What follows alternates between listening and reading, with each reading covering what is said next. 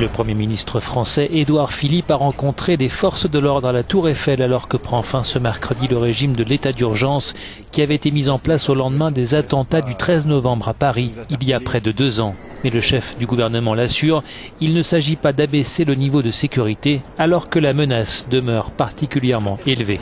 Je sais que le fait que l'état d'urgence soit venu à son terme et que nous soyons euh, aujourd'hui dans une situation qui n'est plus marquée par euh, celle de l'état d'urgence conduit un certain nombre de concitoyens euh, à redouter que l'intensité de l'effort que nous livrons au service de la sécurité euh, puisse baisser. Il n'en est rien.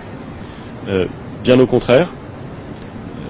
Les Français vont continuer à voir dans les rues des policiers, des gendarmes, des militaires dans le cadre de l'opération Sentinelle qui va se poursuivre.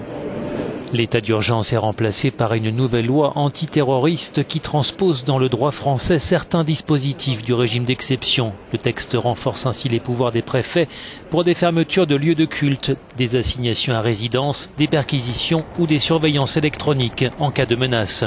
Il maintient par ailleurs un niveau important de possibilités de contrôle aux frontières. Certaines voix dénoncent le caractère liberticide de cette loi que Emmanuel Macron a tenu à défendre devant la Cour européenne des droits de l'homme. Le président français a assuré qu'elle serait évaluée dans deux ans et modifiée si nécessaire. Aux enjeux du futur.